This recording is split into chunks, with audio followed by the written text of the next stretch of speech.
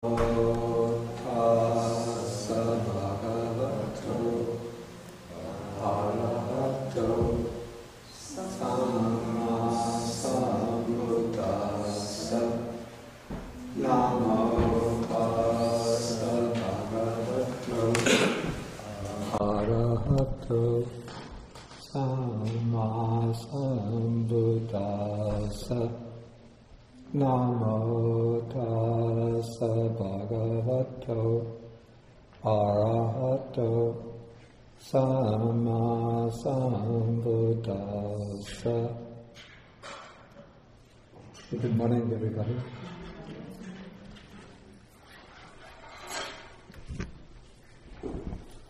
so today we start the, the fall semester.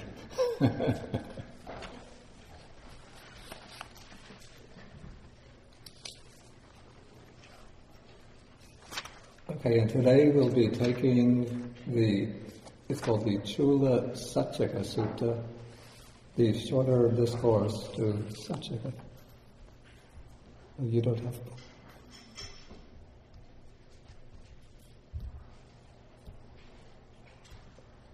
um, Nina, you could sit here and then you could share your book with this woman here. I just don't like nonsense, that's okay. You don't like what?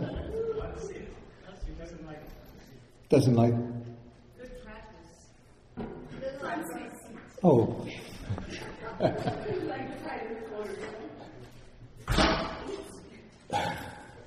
okay, so this sutta, um, it's a little bit combination, I would call it a little bit like a sit- combination of a situation comedy, but with some serious teachings inside. so it's a, has a little bit of a humorous framework so it begins when there is a certain um, debater. His name is Saccaka. The word Saccaka actually means one who speaks the truth. And he is said to be a son of the Niganthas. The Niganthas were the Jains, so it seems he came from the Jain family. But it's not at all obvious that he is a follower of the Jain teaching but rather he seems to be something like a in Greek philosophy they call him the sophists. They're people who are skilled in the arts of debate, and so they travel around the country finding famous teachers, philosophers, and then they just try to debate with them in order to use logic and reasoning to disprove the position of the other person. Okay, so apparently when this sutta opens, Saccaka has been visiting the large city of Vaisali. It was one of the major cities in India during the time of the Buddha. And so he's described as a debater and a clever speaker, regarded by many as a saint. It seems like being a clever speaker is hardly reason for being regarded by many as a saint. But anyway, he was making a very unsaintly statement in front of the assembly of Vaisali. This would probably be a place where the people gather because Vaisali was like a self-governing aristocratic republic rather than a kingdom, a monarchy. And so I would believe that the people would gather in an assembly hall and they would conduct the affairs of the city from that assembly hall. Just like small towns here have a town hall where people meet to conduct the affairs of the town. So he comes before this assembly and then he starts speaking rather boastfully, saying that he sees no other ascetic or Brahmin, even one who's the head of an order the head of a group, the teacher of a group, even one who claims to be fully enlightened, who would not shake, shiver, and tremble and sweat under the armpits if he were to engage in debate with me. then, to make his point even more strongly, he says, if I were to engage in debate with a senseless post of, post of wood, even that post of wood would shake, shiver, and, tr- and tremble, not to speak about human beings. Okay, so at this time, the Buddha has been living in just outside the city of Vesali in a place called the Great Woods. And so one of the disciples of the Buddha, this is the monk named Assaji, he was one of the first five disciples of the Buddha and the one responsible for converting Sariputta and bringing Sariputta to the Dharma. So the Venerable Assaji, one day he took his alms bowl and he went into Vesali on his alms round. So then Saccaka sees Assaji walking on alms round and he comes up to him, greets him, and then he knows, he must know that Assaji is a disciple of the Buddha, the one that they call the ascetic Gotama. And so he asks Assaji, how does the ascetic Gotama discipline or train his disciples? What is the kind of instruction that he usually gives to his disciples? Okay, then Assaji gives a rather very brief statement in order to show what he considers the essence of the Buddha's teaching. So apparently this monk Assaji was not one who liked many words. But even when Sariputta approached him for a teaching, Assaji just gave, spoke one four-line stanza but that was enough to bring Sariputta to the first stage of enlightenment. Okay, so in this case also, Assaji speaks very concisely, and he says, material form is impermanent, feeling is impermanent, perception is impermanent, the mental formations are impermanent, consciousness is impermanent. So in other words, he's saying that the five aggregates are impermanent, then material form is not self, feeling is not self, perception is not self, for mental formations are not self, consciousness is not self. Thus, all formations or all conditioned phenomena are impermanent, and all things, all phenomena, are not self. So that is the way the Buddha trains his disciples and that is the way he presents his teaching to his disciples. Anything missing here?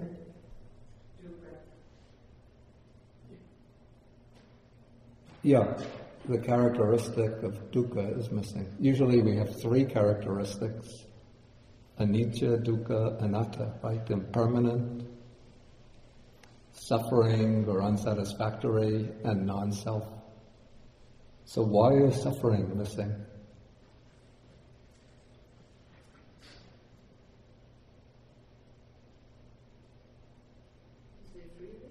What?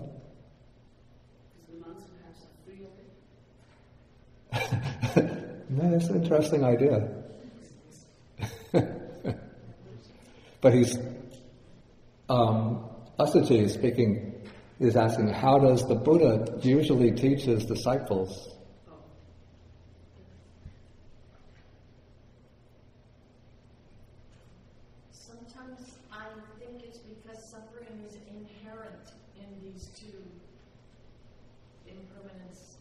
Yeah, but usually the Buddha speaks about suffering, even though it's inherent.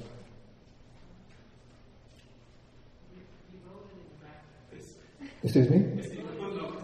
Yeah, I know. But that's what the commentary says.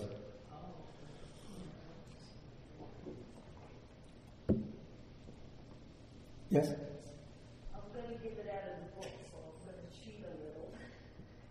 Um, I think the answer is um, he omits the second of the three characteristics, dukkha or suffering, he explains that Aja- Azaja omitted this, No, Assaji, okay. Asajiya omitted this in order to avoid giving Saka the opportunity to attempt a refuse, a re-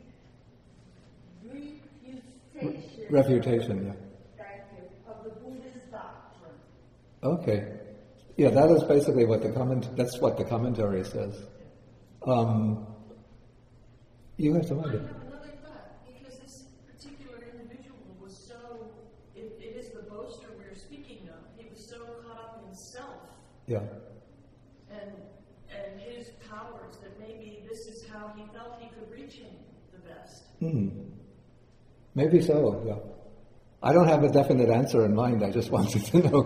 You do this a lot. But it feels like this guy was so caught up in himself yeah. that the only valuable teaching, the Yeah. only, the only door open was to directly hit him right on his To go very directly for the non-self. Maybe so, maybe so, yeah, yeah. Yeah, I, I don't know any other explanation apart from what the commentary says, so all we could do is sort of speculate. The sutta itself doesn't give an explicit answer. okay.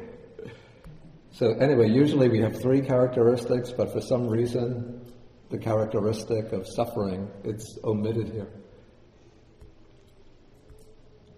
Okay, so now after Assaji uh, replies in this way,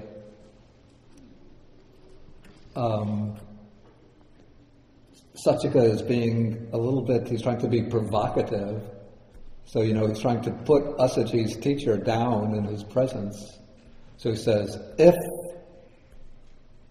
we have heard what the recluse Gautama asserts, we have indeed heard what is disagreeable. Then he says, perhaps sometime or other we might meet this Master Gotama and have some conversation with him. Perhaps we, he means really means I, might detach him from that evil view. So he's going to argue with the Buddha and try to convince the Buddha to give up this view of impermanence and non-self so that the Buddha will say, yes, some things are, permanent, some things are self. Okay, so one time, maybe a little bit later, the Licchavis were meeting in their assembly hall, and then Saccaka came to them and said, I'm going out to debate with the ascetic Gautama. Why don't you guys come along and follow me, and you'll see something that's going to blow your mind. You're going to see me. Then he says, he says, if this recluse Gautama maintains before me what was said by his famous disciple, the Bhikkhu Assaji, then just as a strong man might grab a long-haired ram by the hair and drag him this way, drag him that way, drag him around, so in debate, I'm going to drag the recluse Gautama, drag him this way, drag him that way, drag him around.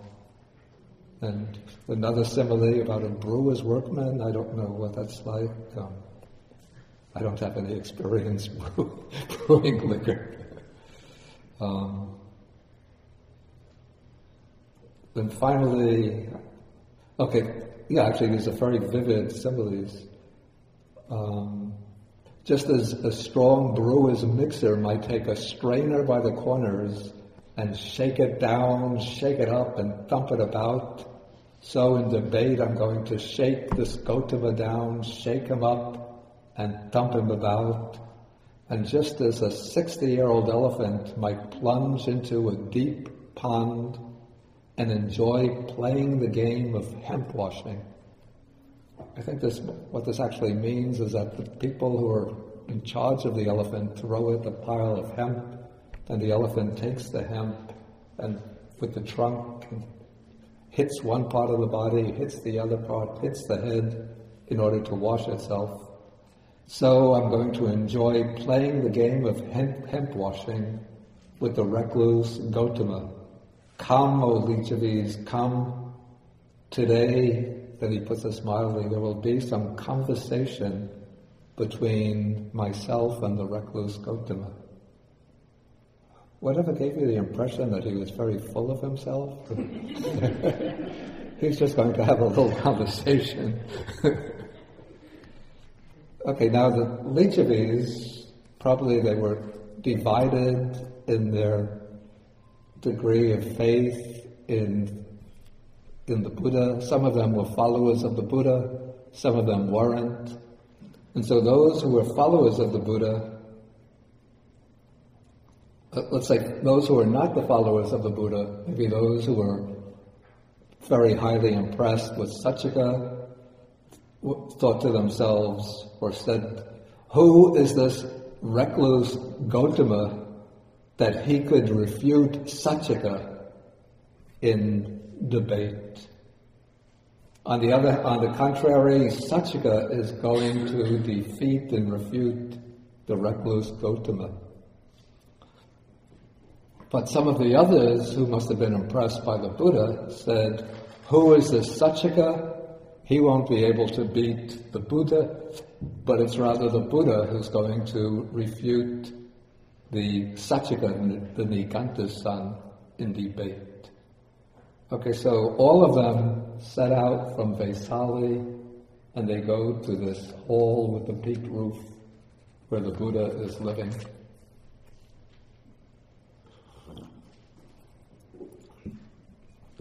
Okay, when they arrive, they're directed to a little patch of woods where the Buddha is sitting under a tree for meditation. And then this group comes up to the Buddha they exchange greetings with him. And then, now I'm in paragraph 9. Saccaka, after sitting down, he says to the Buddha, he says, I would like to, you know, he puts this very mildly. He doesn't want to come on too aggressively. So he speaks very politely. I would like to question Master Gotama about a certain point if Master Gotama would kindly grant me the favor of answering my question. Okay, so Saccaka asked the same question. How do you instruct your disciples? How do you discipline your disciples? And then the Buddha, he must have known the way Assaji had replied. So the Buddha replies in exactly the same way. He says, material form and so on is impermanent, and material form and so on is not self. Thus, all formations are impermanent, all dharmas, all phenomena are not self. That is the way I discipline my disciples, and that is how I usually present instruction to my disciples. Okay, now Saccaka, rather than directly attacking the Buddha's position, is going to approach it somewhat indirectly by using a simile. Because I guess this is supposed to be part of his skill as a debater, is to be able to think up similes which he thinks accurate, accurately represent the position of his opponent. And then he'll use the simile as a way of undermining the position of his opponent. And so he says, just as when seeds and plants, whatever their kind, grow, increase, and mature, all do so in dependence upon the earth, based upon the earth. And just as what, whatever strenuous works are done all are done in dependence upon the earth, based upon the earth, so too a person has material form as self, and based on material form, he produces merit or demerit. A person has feeling as self, he has perception as self, he has the mental formations as self, a person has consciousness as self, and based upon consciousness, he produces merit or demerit. So let's maybe try to see the simile or depict it visually.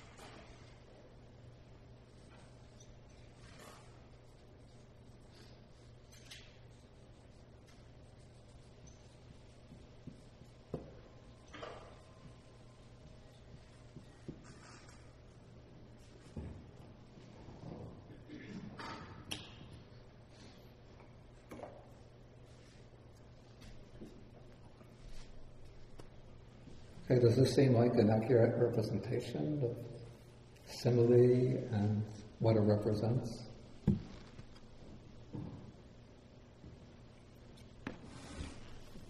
It's interesting, maybe a little puzzling, that Saccaka seems to be making a distinction between the self, which consists of the five aggregates, and the person who does produces merit or demerit. So the person has or possesses the self, and then the self consists in feeling, perception, uh, the self consists in form, feeling, perception, and so on. But there seems almost to be like a dualistic distinction between the person and the self. It seems to me a little bit strange. What one would say is that if the person has, let us say, a form, feeling, perception, and so on of the self, then one would say that the self does merit or demerit. But then what is the self? But form, feeling, perception, and so on.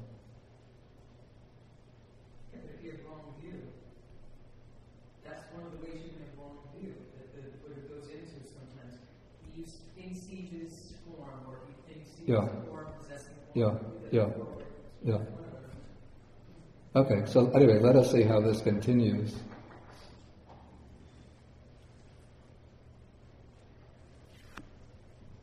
Okay, so the Buddha now is going to sort of sound him out, to sort of get him to first to reconfirm his view. So he says, the Buddha asks him, are you asserting thus material form is myself, feeling is myself, perception is myself, the mental formations are myself, consciousness is myself? Okay, then Saccaka admits this. Form, feeling, perception, and so on, that is myself. Saccaka says, material form, feeling, and so on, this is my up to consciousness. That is myself. That's what I say. And then he points to the group of leech thieves and says, and so does this great multitude.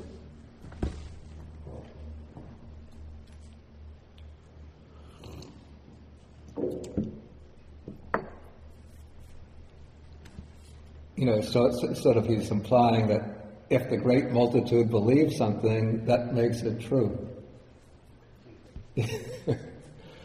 like if Glenn Beck or Rush Limbaugh were to stand up and they were to say, Obama is a Muslim, that's what I'm asserting, and so does this great multitude.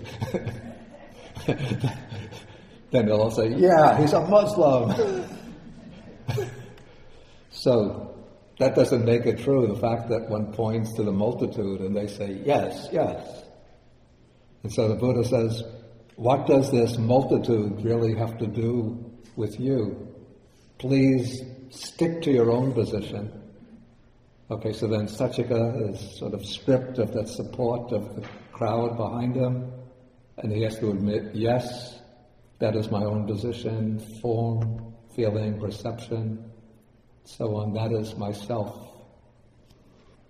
Okay, now the Buddha, again, instead of attacking Saccaka's position directly, is going to use a different simile in order to undermine Saccaka's position.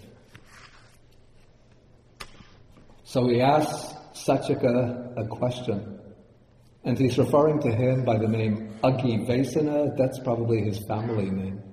Saccaka was probably his personal name. Okay, so he says, Then I will ask you a question, Aggivessana. Answer it as you choose. Now, what do you think? Suppose a powerful king, like King Pasenadi of Kosala, or King Ajatasattu of Magadha, can such a king exercise power in his own realm such that he can execute those who should be executed, fine those who should be fined, and banish those who should be banished. So in India, in the Buddha's time, in northern India, there were two very powerful monarchies. In the far north, there was um, Kosala, that was ruled by King Pasenadi, and in the center east, there was Magadha, the kingdom of Magadha, which was ruled by King Ajatasattu. And both of them were probably autocratic tyrants who could rule according to their own will. Pasenadi was a follower of the Buddha, so his reign would have been milder. And King Ajatasattu actually came to power by killing his own father to get the throne uh, without having to wait until his father grew old. So he was more tyrannical, I think. But both of them were absolute monarchs who could do whatever they wanted in their own realm. Okay, so then Saccaka replies that this is the case that these two powerful kings exercise that power in their kingdom so that they could execute anybody they want, banish anybody that they wanted, um, anybody that they wanted. And then he says, even in these communities, these republics, like the Vajjian Republic or the Mallan Republic, the people exercise that kind of power collectively in their realms. So certainly these kings could exercise such power. Okay, then the Buddha asks him, when you say material form is myself, do you exercise any such power over material form so that you could say, let my form be thus, let my form not be thus. In other words, do you have such absolute power absolute control over form, that you can, the bodily form, that you can control it in any way according to your will. So whatever you want it to be, it will automatically and instantaneously conform to one's will. It will follow your wishes, your intentions. So, you know, if I had that control over this body, then I wouldn't have to buy razors, you know, to shave. You know, I could just say when the whiskers start to get a little long, let the whiskers disappear and they would disappear. And if I ever feel like a cold coming on, I don't have to gargle with salt water, take cold medicine, or take any other kind of treatment, but just have to make the will let that cold go away and it will go away.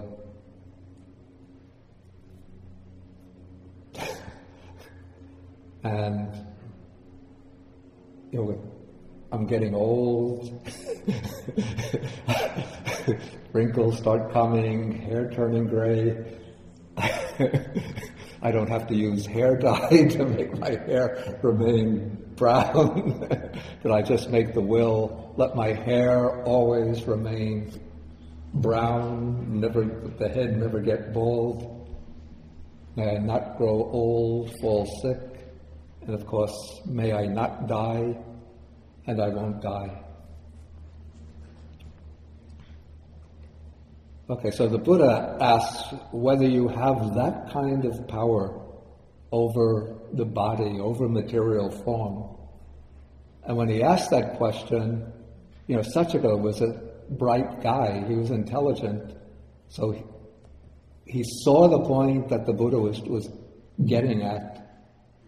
And so he wasn't going to fall into the Buddha's trap, and so he remained silent. Okay.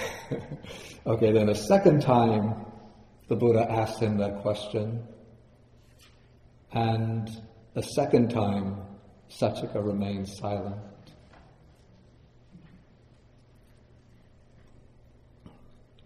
Okay, then the Buddha says to him, Aggivessana, answer now. Now is not the time to be silent. If anyone asked a reasonable, is asked a reasonable question up to the third time by the Tathagata, and he still does not answer, his head will split into seven pieces there and then. Okay, we think, wow, the Buddha is really cruel and brutal, right? you know, always they say, you see, at least some the Buddhists they compare Buddhism to Christianity. They say, you see, Jesus says the evildoer will go to hell, but Buddha is always very kind and compassionate to everybody. so why here he's saying that your head is going to split into seven pieces? But actually, the Buddha, that's not his own will. He doesn't want Saccaka's head to split. But this is supposed to be like a fixed principle, that the Buddha is being perfectly reasonable and he's asking the person the question up to three times. And it was Saccaka who engaged the Buddha in debate. The Buddha didn't come up to start arguing with Saccaka. And so if Saccaka keeps silent, you know, he's going back on his original intention of debating with the Buddha. And the Buddha is giving him this warning in advance to protect him from having to undergo this fate. And now, you know, this is to make things very dramatic. I can imagine that, you see, these suttas were passed down orally for hundreds of years. And so those who were teaching the suttas, maybe they would find, consider it a little bit boring if you're just giving a blow by blow description of a debate. So they want to make the sutta a little bit colorful, you know, like we have, we're watching it on TV or Steven Spielberg, is that his name? Mm-hmm. Movie. you know, like Jurassic Park or what are some of these others? The Andromeda Factor, is that it? Okay, so then suddenly this thunderbolt wielding spirit holding an iron thunderbolt appears. The thunderbolt that's burning, blazing, and glowing, and he appears in the air just above Saccaka, holding the thunderbolt, thinking, if Saccaka is asked that question up to three times by the Buddha and he doesn't answer, I'm going to split his head into seven pieces. Okay, so the Buddha looks over across at Saccaka and sees the spirit holding the thunderbolt. and then Saccaka looks over, he must get a sense of some flaming presence behind his shoulder. So he turns over to look. and he sees that probably a fierce looking spirit there holding the thunderbolt right above his head. And so then he gets terrified, frightened, alarmed, and he sort of says to the Buddha, Please call him off, call him off. I'll answer you. Okay, so now the Buddha asks the question the third time.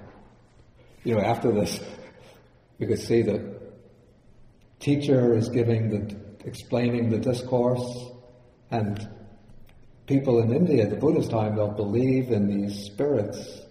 And so they'll all be holding their heads and going, please answer Saccaka, please, please, don't remain silent. Okay, so now the Buddha asks the question the third time, and now Saccaka says, he asks, do you have such power or control over material form so that you can say, let my form be thus, let it become what I want it to be, let my form not be thus, not be the way I don't want it to be. Okay, then Saccaka has to admit, no, Master Gotama, then the Buddha says, pay attention, Saccaka. Pay attention to what you've replied. What you said afterwards does not agree with what you said before, and what you said before doesn't agree with what you said afterwards. Now the Buddha is just going to frame the questions around the other aggregates.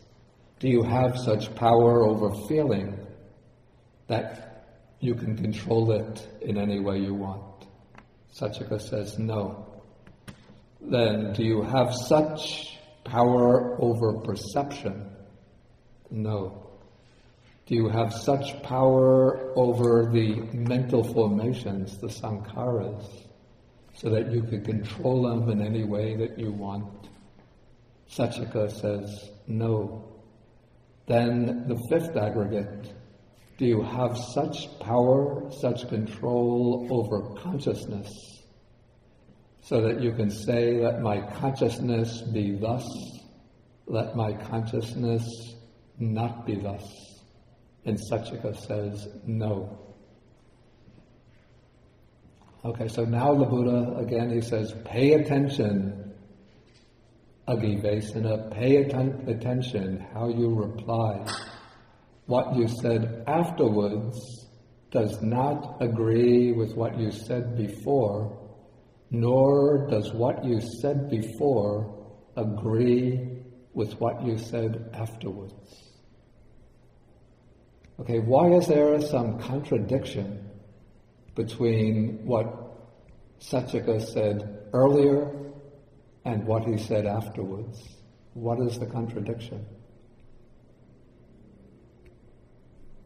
He just said that his self is all those things, Yeah. and now he's saying the self is not, or he has, does not have power over the things that he said was self. Okay, earlier he just said the person has material form as self, feeling as self, and so on. Then, based on material form, he produces merit or demerit. So the person can still do merit or demerit. So where is the contradiction? There's something implicit here which is not stated explicitly. What is that? What is implicit?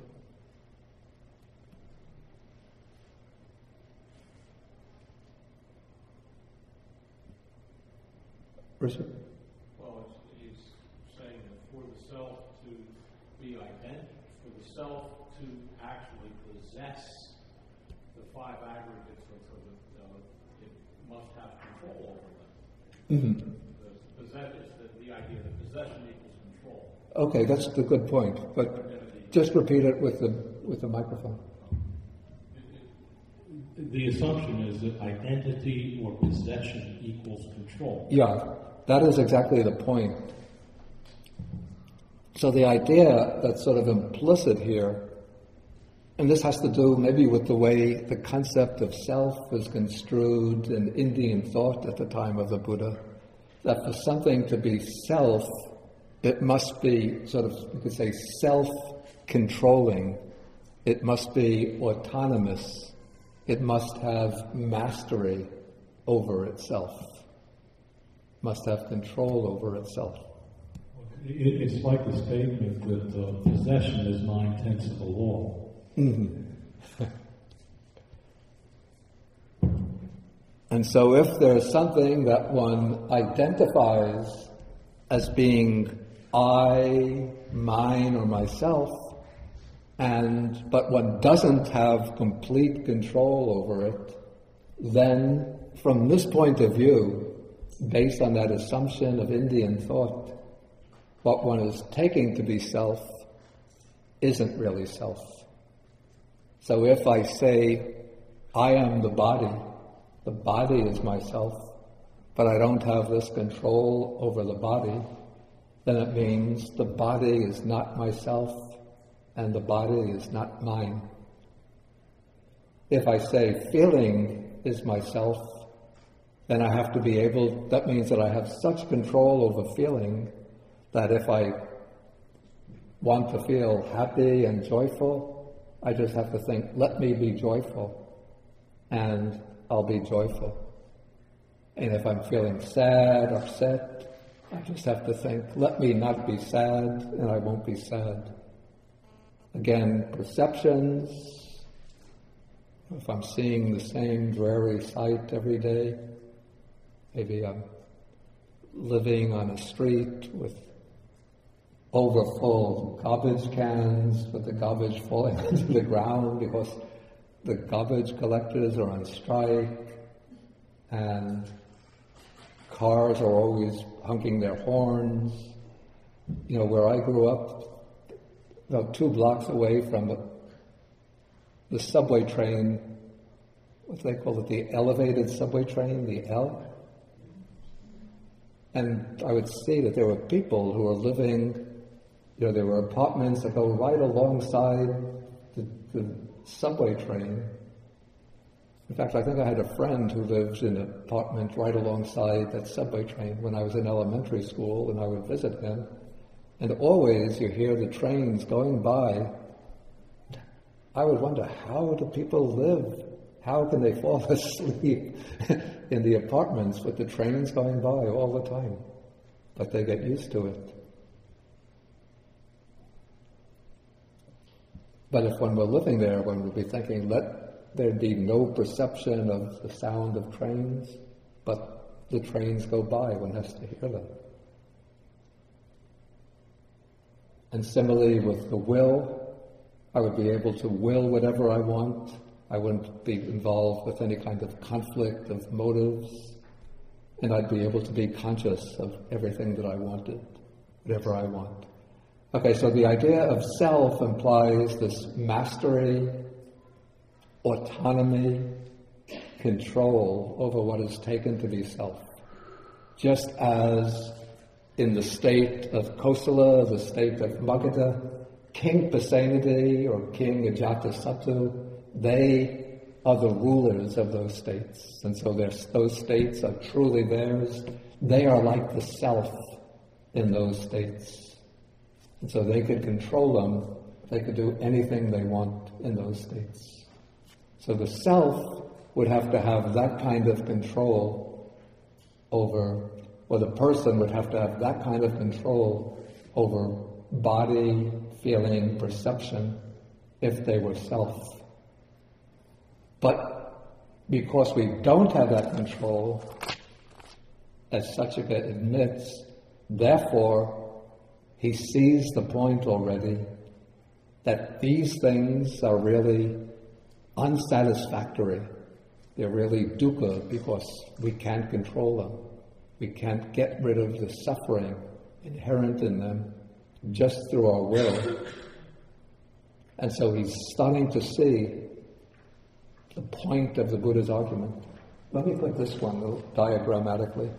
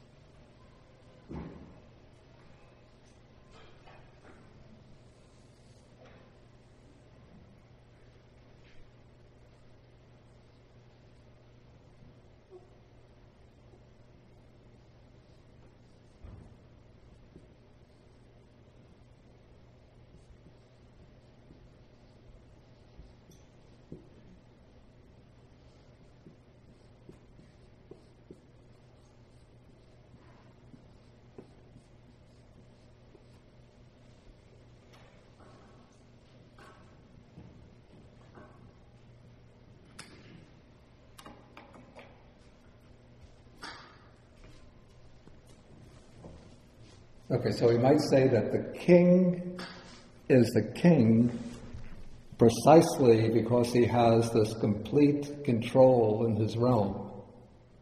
Actually, probably in reality, the king doesn't have such control. you know, there are groups of rebels that might be plotting the rebellion in some secret corner of even of the capital, and maybe the king's concubines in the harem are secretly having affairs with secret visitors to the harem, and the king's son might be a troublesome little brat who's planning to overthrow his father. So the, then there can be robbers, take the robbers who are conducting raids on the houses in the, in the kingdom. So there can be many problems in the state. But just sort of the common belief is that the king is the sovereign of the land, so in principle he has complete control, even if he doesn't in reality. Okay, so just as the king has complete control over the state, so if the five aggregates are the self, then the person should have that complete control over the five aggregates. But I put a cross there, an X, to show that the person doesn't have that control. And so then the conclusion follows that the five aggregates are not the self.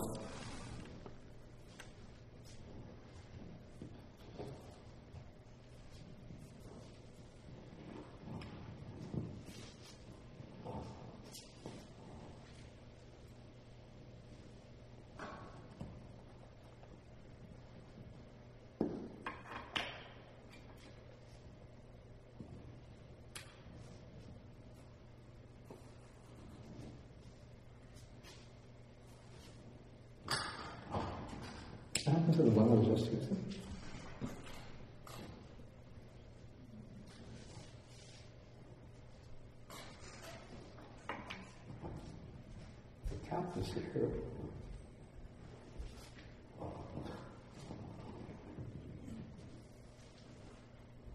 I just had my hand. okay. Lack of total control. What's that? You don't have total control. Yeah, it disappeared. It's the space aliens. It's not self. Okay, we'll we'll do this one.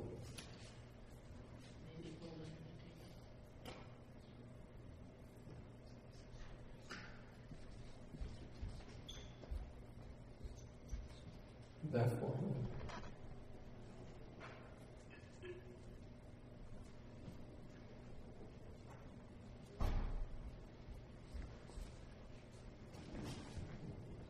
It's this one actually. I think this is just the beginning. I see, this is like an eraser, that's why they put it on the bottom. Yeah.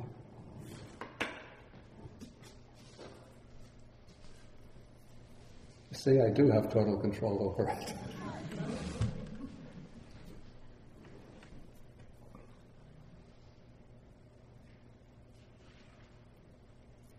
so this is the point of the Buddha's argument, even though it's not really made very explicit.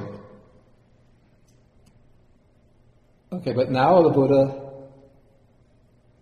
Did somebody want to say something about that argument? Any questions or? The whole thing hinges on if you accept that self means you have control. That whole argument. hinges on that point. I spoke to you about that yesterday. Who says? That's all.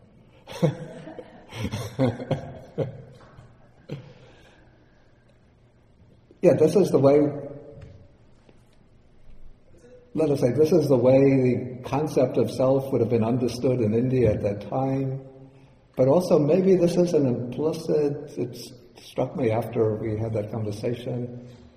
Maybe this is not something just peculiar to the Indian cultural view of that period or philosophical view of that period, but maybe this is a kind of underlying, deep, underlying maybe subconscious presupposition that people take, even though they might not think explicitly in terms of five aggregates, but they take the body to be mine, they take their feelings to be mine, they take their ideas to be mine, they take their intentions to be mine, they take their consciousness to be self. Richard, you want to say something? Yeah, well, the, the political form of it is sovereignty, which was in most famous expression is Louis XIV saying that le Staat is moi. Yeah. The state is me. Yeah, Right? Yeah. After me, the deluge. yeah, The, the, uh, uh, the personal form of it derives also from, from law. That is the idea that you, you have control, you have the absolute right to control your own property. And that the basis of property is the body. Right, it's what's, uh, what's yourself and what's, uh, what's attached to yourself. That ownership is, ownership is conceived as, as the right to get the protection of the state if anyone denies your right to control your own property. And since the body is also considered property, it then becomes a fundamental idea of personality. Also, in, in India, say, you know, even now, this is a very fundamental idea. In, in the, the states of India, yeah, all the actual decisions are made by the top guy. That is, they're made by the chief minister. If you go to see the chief minister, say, of the state of India, like of Andhra Pradesh, Like what? say, of Andhra Pradesh, yeah, he walks down a hallway uh, as he leaves his office and asks for one sentence from each person in the hallway. People line the hallway and the stairs as he goes down. He has two aides on either side. The aide, he, he listens to the sentence, he says something to one aide, he has the other aide write down the decision, and that's it. All of the ministers just wait. They, they, they pile up everything until it comes to his attention. They make no decisions on their own. So that I mean, this is this is the Indian principle of rule. The, the king gets all the decisions. But don't they say that India is one of the most lively democracies in the world? Yeah, sure. propaganda like our own. Yeah. Please. You Wait, take, take the, the microphone. When I am in discussion with family members about things that sometimes we don't agree on or something, they'll say, "Well, this is just who I am. This is this is me. I'm just this way." And um, and sometimes they might even say it about something about themselves that they don't like. I'm just stubborn. Yeah. Um, and the idea there implies that they cannot change Yeah. that they are stubborn, and they solidify it. Yeah. So that idea that we can change is also a factor in, in some of my confusion about self, but also in the idea that control is what we use to imply.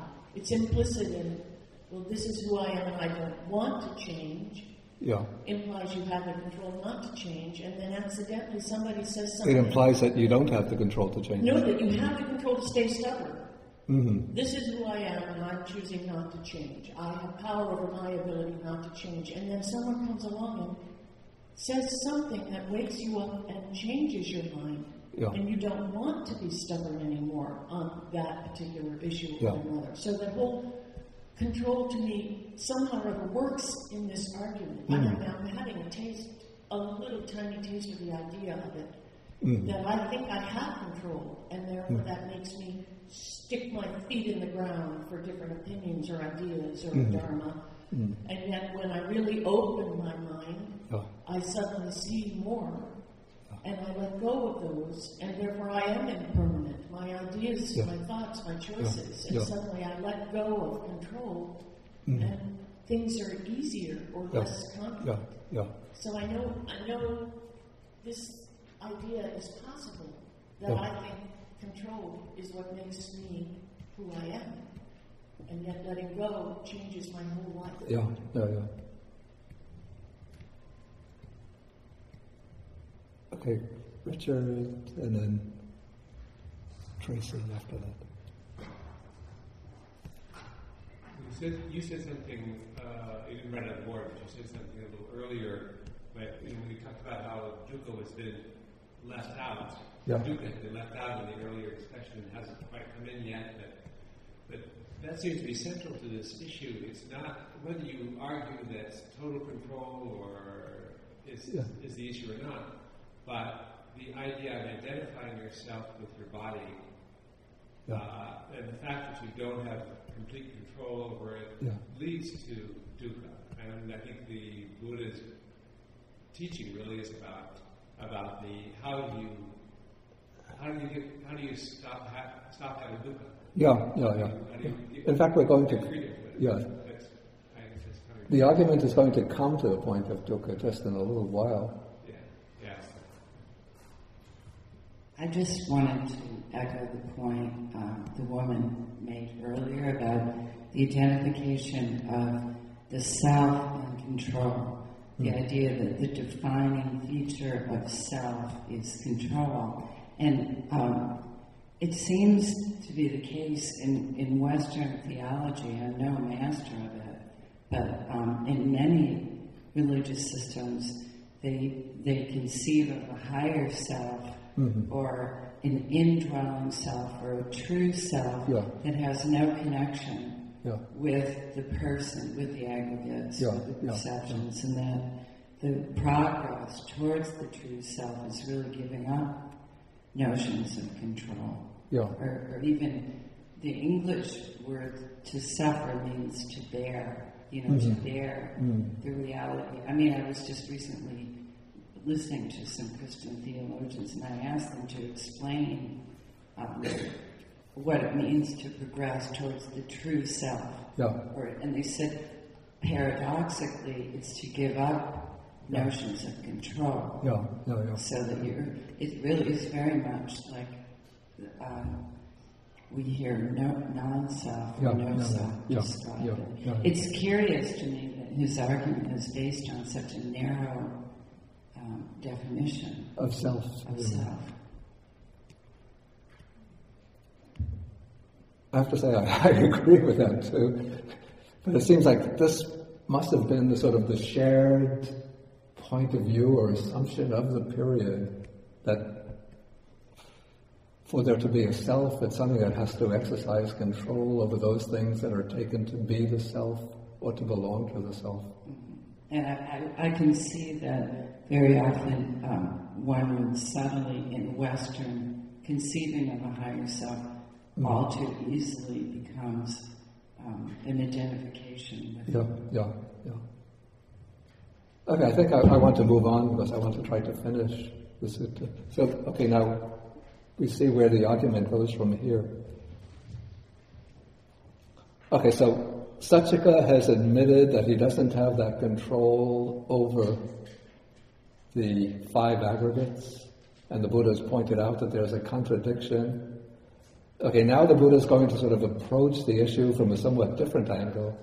First, he starts off with the question about permanence or impermanence. What do you think? Is material form permanent or impermanent?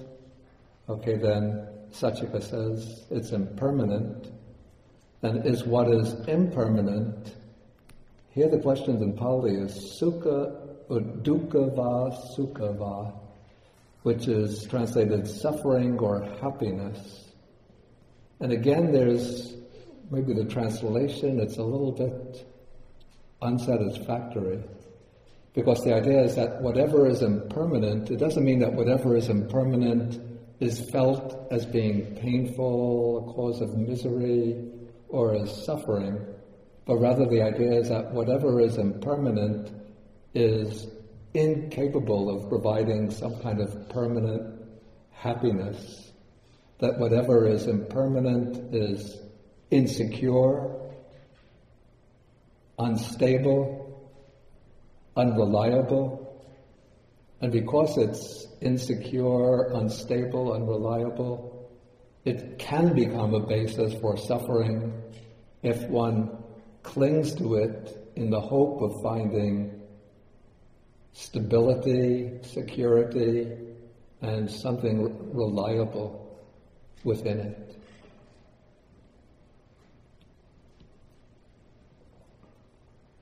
Okay, so Saccaka admits that what is impermanent is dukkha, in the sense of unstable, and unreliable, insecure.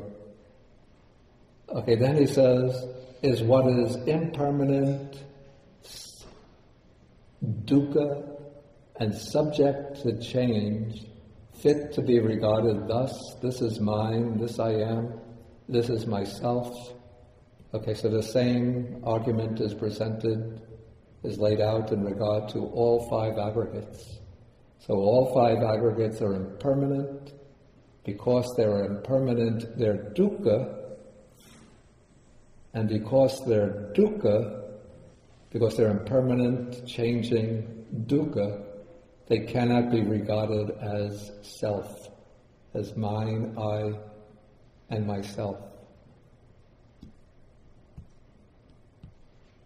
Why, why couldn't he answer, uh, no, they're not fit to be myself, but they are. In other words, I'm impermanent, I'm suffering, and I'm subject to change, and that's me. What can I do about it? Yeah. I think because the idea of self would have to involve, in this way of thinking, would have to involve permanence, unchangeableness, and not being subject to dukkha. But isn't, isn't that a Brahminical idea of self? That's a pre-existing definition, cultural definition of self that I think many of us don't have anymore. It was a, it was the Hindu, Hindu idea of self. Yeah, I know that, I know that, yeah. But, I mean, the Buddha was speaking within the context of that society and that culture. And actually, what has struck, struck me is that, especially nowadays, the idea of self and non self from Buddhism is not particularly problematic for people. You know, because when people are taught or learn that Buddhism teaches there's no permanent self, no substantial self, it's not a big problem. What becomes a problem is probably the, the real problem is teaching that everything is dukkha, because we're always still seeking sukha, pleasure or enjoyment in some form.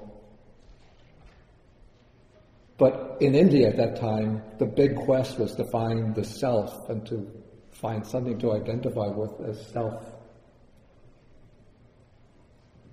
Okay, so now the five aggregates are all impermanent. They're all, because they're impermanent, they're bound up with their dukkha. Because they're impermanent and dukkha, they're non-self. And so now the Buddha brings in, maybe this is why the characteristic of suffering was left out from the earlier part of the discourse, in order to give it a more dramatic impact now at this point. So the Buddha says, What do you think, Aggivessana, when one adheres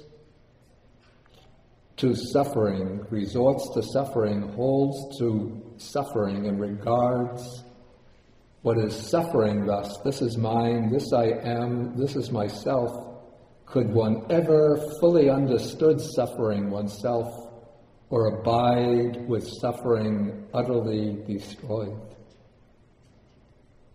And then Saccaka answers, How is that possible, Master Gotama? No. Let me try to, approach this by breaking the question down, actually, to take it into two parts. Okay, first, when one regards the five aggregates as impermanent, then the point is that since they're impermanent, they're dukkha. And so what one is saying, this is myself, turns out to be dukkha, to be suffering. So what one is saying, uh, what one is identifying with this is myself, let's say when one identifies with anything and says, this is myself, what one is doing is adhering to dukkha, resorting to dukkha, holding to dukkha, and saying, what is dukkha, what is suffering is myself. But in a way, that is what one doesn't want to do. One wants to get free from dukkha. And so if one is taking the five aggregates to be myself and they're dukkha, then one is saying what is dukkha is myself. So one is not going to get free from suffering by identifying with what is suffering and saying what is suffering is myself. Were you going to say something, Andrea? No, I was just thinking, hence when they talk about the Four Noble Truths in brief, hence the five aggregates. Yeah. Subject to clinging are dukkha. They're what's suffering. Yeah. Yeah. Yes? Yeah, yeah, yeah. Okay, so so that is the first part. Then the second part would be can if one is cl- clinging to suffering and regarding it this is myself, could one ever fully understand suffering and completely destroy suffering? So if one is clinging to what is suffering as myself, then one is not going to be able to get to overcome suffering and to become fully liberated from suffering.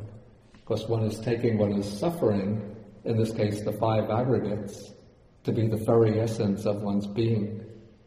And so therefore one will go on adhering to the five aggregates, clinging to the five aggregates.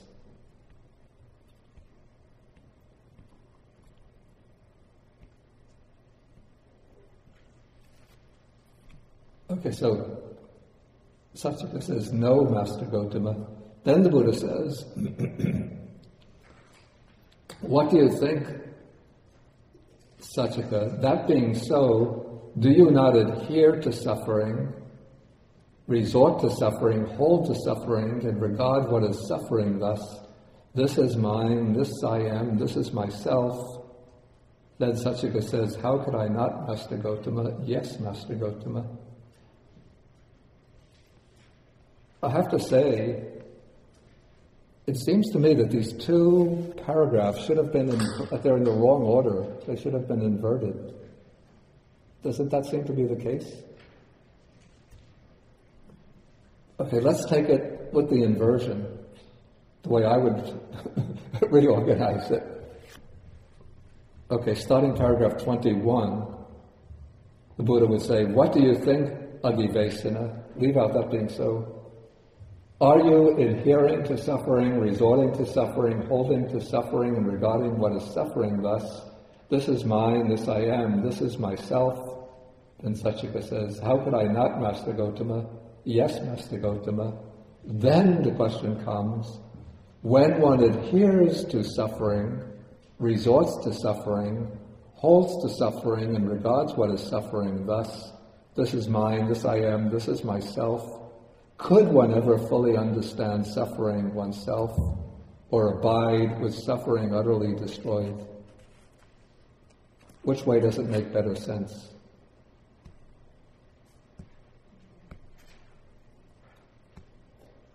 The way it's down here, with 2,000, maybe 300 years of tradition behind it, or the way I propose, with about five seconds behind it. Which way? Of course, it has to be that way.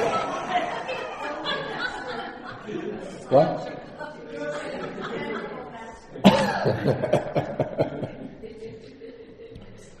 Anybody disagree with her? I abstain. Is there suffering involved?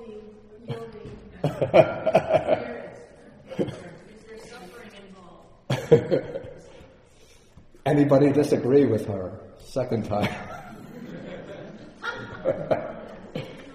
Third time?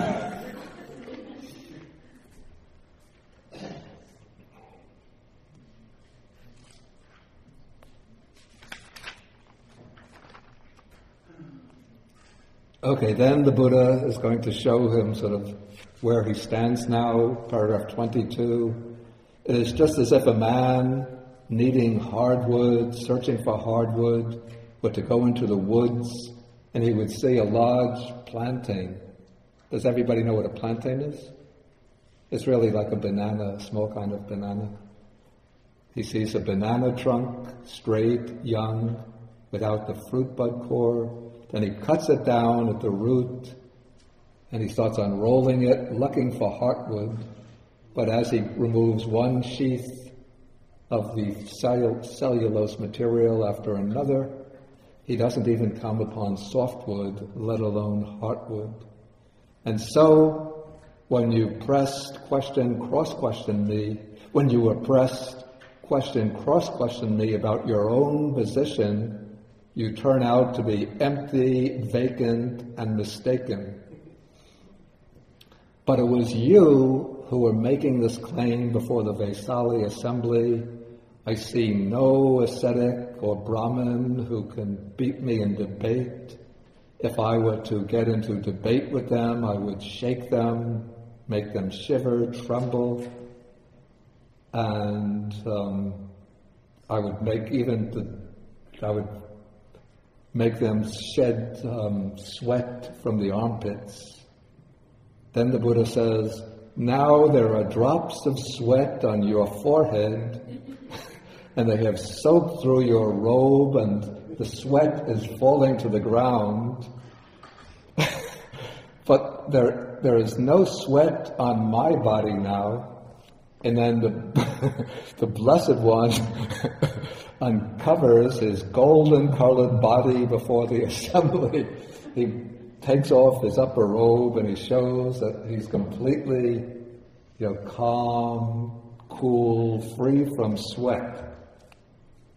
You know, you could see that the preacher is preaching this way to the Buddhist assembly of lay devotees, and he describes the Buddha in this way, and the lay devotees are all sitting with their hands like this and going, sadhu, sadhu, sadhu, wonderful, wonderful. okay, then at this point, Saccaka, the great debater, is now sitting there. He's utterly humiliated, silent, dismayed, unable to respond. Okay, then one of the Licchavis gets up and he gives a simile to describe Saccaka's position. He says, he gives a simile of a group of boys and girls they go out from the town or village to a pond, and then they, there's a crab living in that pond, and they pull the crab out from the pond, and then whenever the crab extends one of its legs, they smash it with sticks and stones. And so all, after some time, all of the crab's legs will be broken, smashed, and the crab would be unable to get back into the pond. And so whenever Saccaka made some assertion, form is self, feeling is self, the Buddha has cut it off, broken it, smashed it, and so now Saccaka cannot get back to the Buddha for the purpose of debate. I have to say, what strikes me a little bit about this kind of dialogue, you know, usually we think of, at least in the popular imagination, the Buddha is always very kind, gentle, soft, you know, no competitive spirit. But there seems to be a pretty strong competitive spirit coming through the presentation of this dialogue. Like, you know, oh, our hero is the Buddha, you know, super monk. and sort of the bad guy is Saccaka who challenges the Buddha in debate. And now we see the bad guy is all sweaty, silent, unable to debate any further. And super monk doesn't even give off any drops of sweat.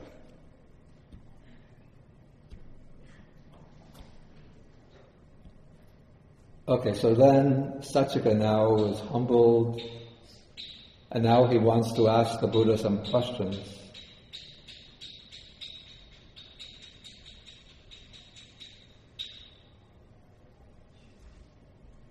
Let there be no sound of a gong. You see, it's following my will.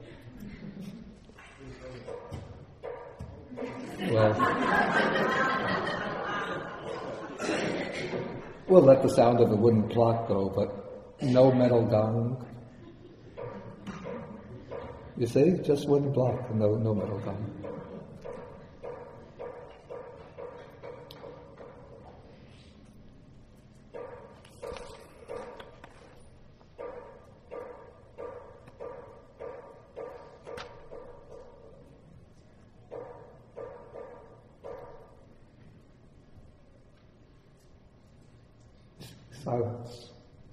Okay, now it seems to me that this part of the discourse, I can't believe that it was not framed by monks who knew the subtleties of the teaching.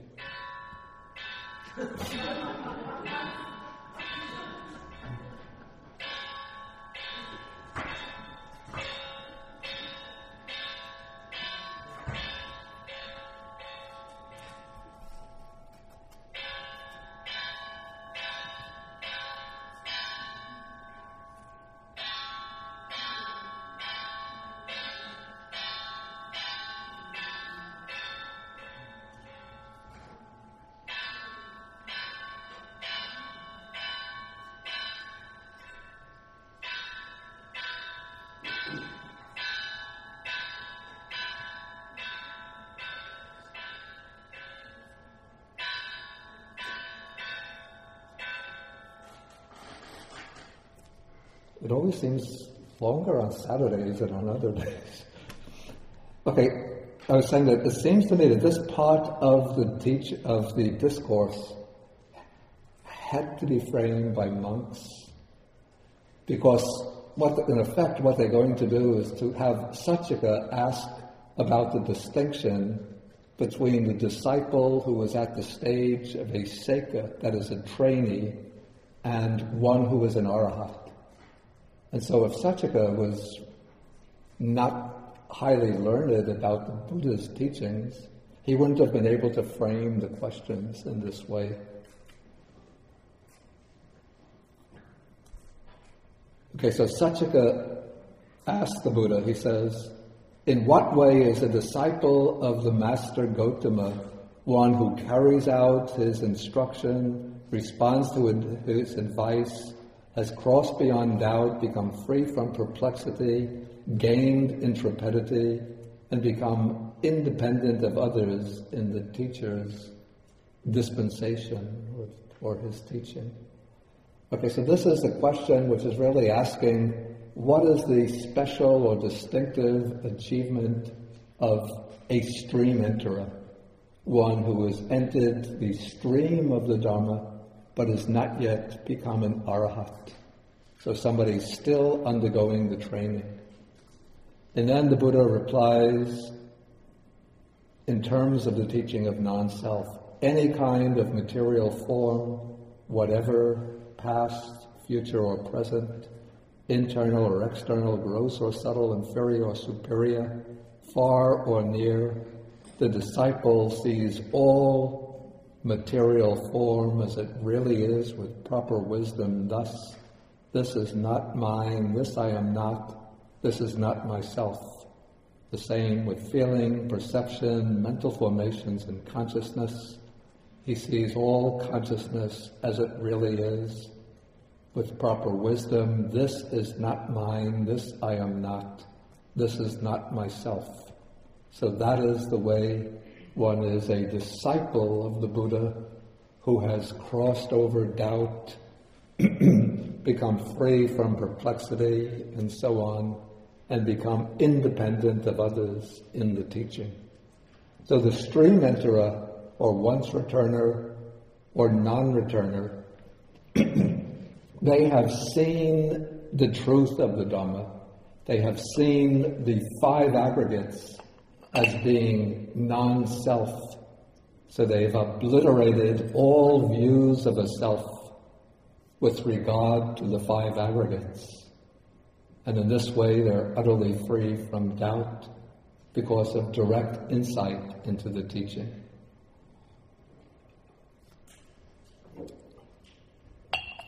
Okay, but apparently, Saccaka, at least in the discourse, he knows the distinction between the trainee and the arhat.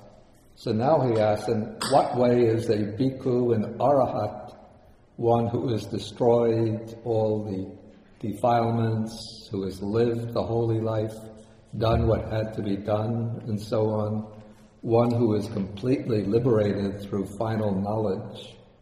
Okay, now to be completely liberated, it's not enough simply to see the truth of non self, but one has to develop that insight, develop that realization to the point that one eliminates all clinging. And so the Buddha answers here, any kind of material form, whatever, past, present, or future, the bhikkhu has seen material form as it really is. This is not mine, this is not I, this is not myself. And through not clinging, he is liberated. Any kind of feeling, perception, mental formations, any kind of consciousness, he has seen it all as being not mine, not myself, and through not clinging, he's liberated. So, in other words, the ordinary, the noble disciple who's a trainee, stream enterer, once returner, non returner, have seen the, the truth of non self, but they've not yet liberated the mind from all clinging. So they still have work to do, they still have to develop that insight further. But when they develop the insight further to the ultimate point, then the mind is liberated from all clinging. And with the liberation of the mind from all clinging, then the disciple becomes an arhat, one who has destroyed all the defilements and is completely liberated through final knowledge. Okay, then the Buddha goes on and he says, he makes a very interesting point. He's now going to sort of highlight the difference between himself and those who are liberated through his guidance.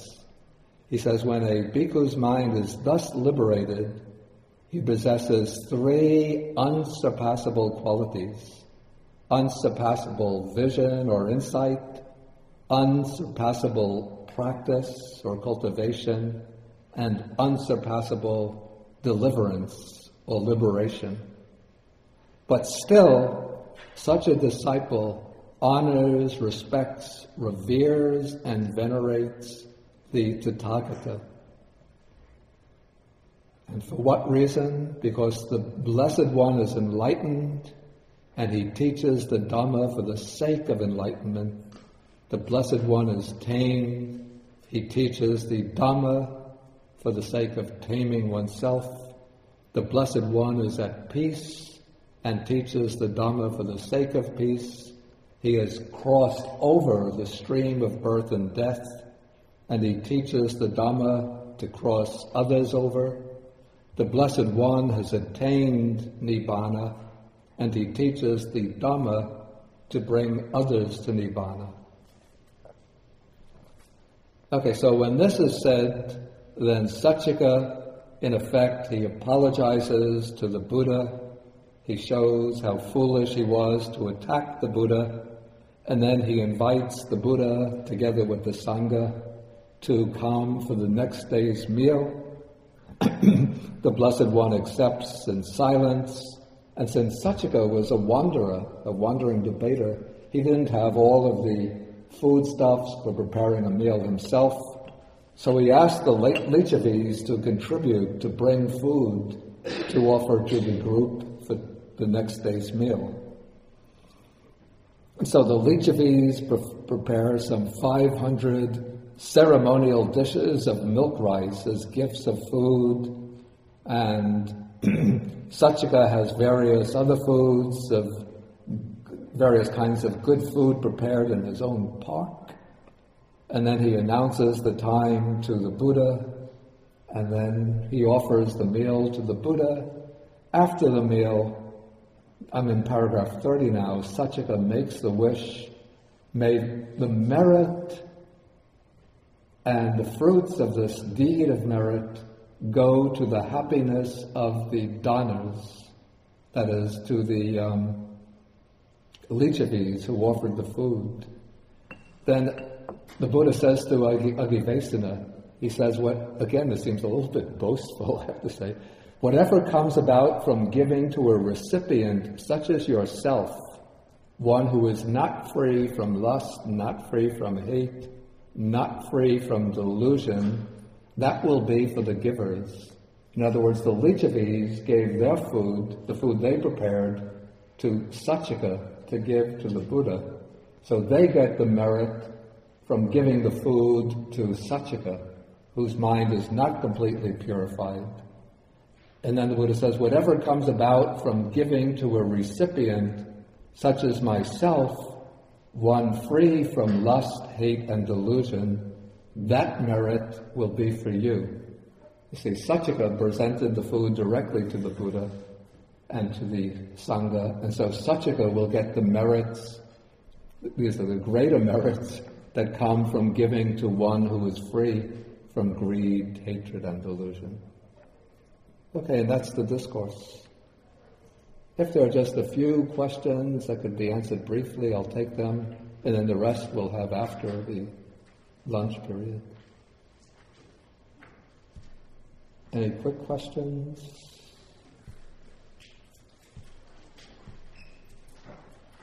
Okay, Susie. Take, take, she's, the boasting comes up regularly, or not exactly boasting, but the unsurpassable. Yeah. Unfortunately, is an area where I struggle really Yeah, hard yeah. because it's what I was trying to let go of another tradition. Yeah. It's always like, this is right. No one can argue with the Buddha. No one will ever successfully debate the Buddha Yeah, because yeah. he's the, the one true knower. And I, I am surprised when I keep running into it, and I wish you had an answer for it. I struggle and or believe that it's the human condition that when you believe something, you want it to be the best, yeah, yeah, the truest, yeah. and that the people who put this down just added that in. It's hard for me to keep hearing this in sutras. The Buddha said, "Well, you know, nobody knows it as well as I do. I am the best. Yeah, I'm yeah. the most unsurpassable." Yeah. And it's just like that first viewer who came up when Buddha first awakened, when he came up and the guy said, Wow, you're glowing. There's something about you. What is it? Oh, well, I'm, I'm Yeah. an arahant. And the Yeah. guy, oh, yeah, sure, ran away. Yeah. and the Buddha then went on to teach it differently yeah. Yeah. so that it could be heard. Yeah. Yeah. Help. I have to say, I don't know, you know, we have to remember that these texts were passed down for some 400, 500 years by oral transmission. So we don't really know for certain what did the Buddha say himself and what could the transmitters who would have been involved in debates with the followers of other schools in India, other schools of uh, religion and philosophy in India, and I think you say the human is sort of the natural human tendency is to exalt our teacher, our founder, our our leader, and so those such, such ideas could have come into the or such statements could have come into the text in order to try to show, you know, our teacher is better than your teacher. We are the ones who have the absolute truth. At least the one thing that's certain for me, or that is that for Buddhism, you know, the way to deliverance is not by believing something, but by following a course of practice that will lead to personal insights. So all of this, it's not saying you have to accept that the Buddha is number one, but um, you know that could have just come out of the tone of religious controversy of the period. And the important point is what is there to understand and to practice. That's the way I approach it. Andrea might have something to. And who's to say that the Buddha has to be, quote, nice? I mean, Wait, wait, But, put, Who's to say that the Buddha has to be, quote, nice? yeah, That's a real misconception that religious figures have to be nicey-wicey.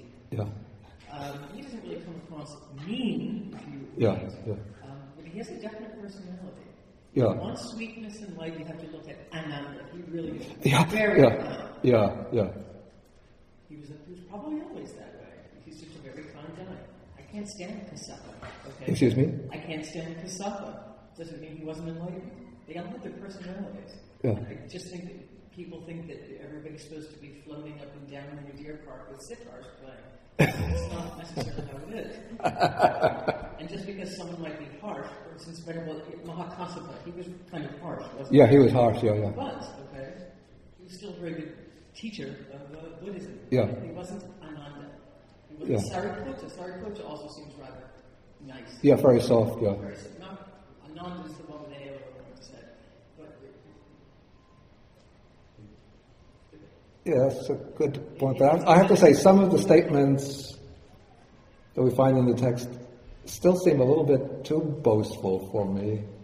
But also, maybe one has to say that, at least in certain contexts, the Buddha, since he is the one who's sort of founding the, te- the teaching, has to give some support to his, to inspire confidence in others, let's say.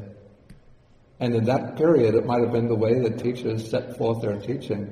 You know, if you if one says, "Yes, everything is good," one guy is teaching everybody is annihilated with the breakup of the body after death.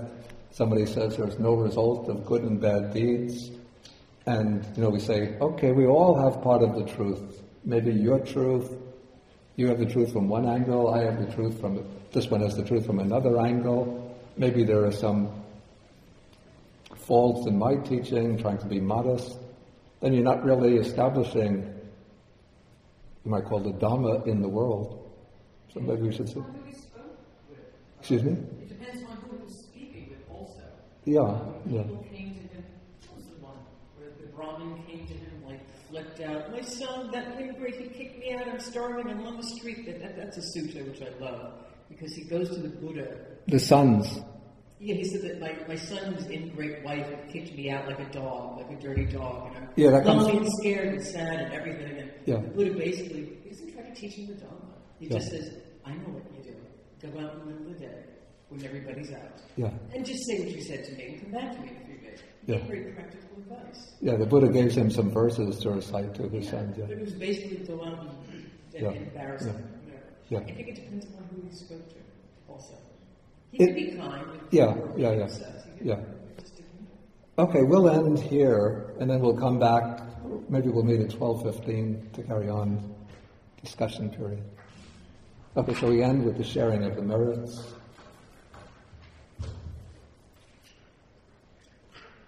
आकाशथा च भूमाथा देवानागामहेदिका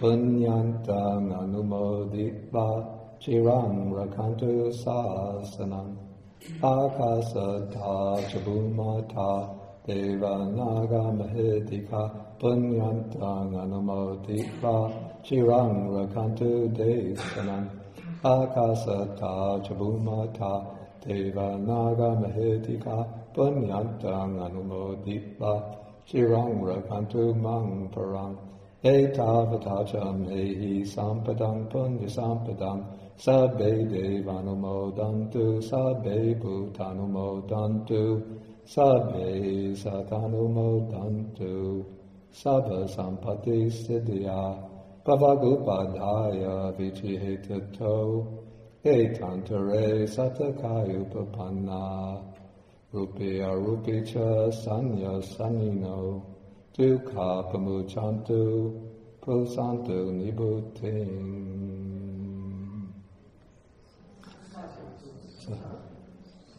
Okay, I just want to mention t- next Saturday there won't be the class, but the next class will be the week after, September 18th.